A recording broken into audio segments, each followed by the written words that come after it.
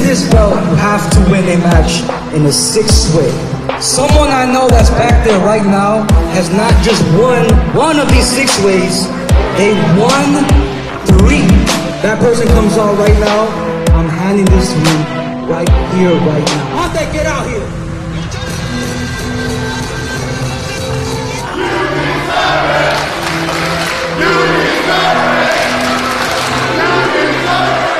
The reason why I can't accept that is because just like you, I'm a fighter. I'd rather wait until you're at 100%. The underground king, the amazing red that we all know and love. Man, I'm so Hold on. Hold on. Wait, wait, wait a second. You think I forgot? I know you did. You obviously forgot about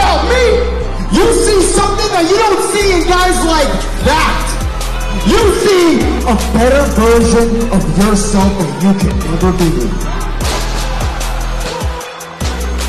So whenever you decide that you be a man and stop being all broken and put the toe on the line, I'll be here.